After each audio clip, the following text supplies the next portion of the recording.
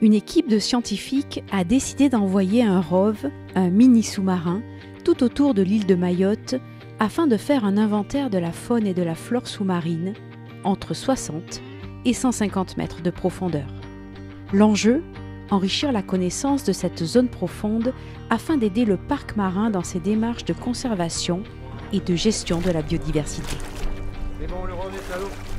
Au cours des dix jours de mission, les scientifiques prévoient d'explorer une vingtaine de sites. En tant que parc marin, nous, notre objectif, c'est la gestion, euh, c'est-à-dire euh, préserver ce qui mérite de l'être et développer euh, des choses qui sont, qui sont durables. Et d'avoir ce genre de données pour le parc marin, c'est super intéressant.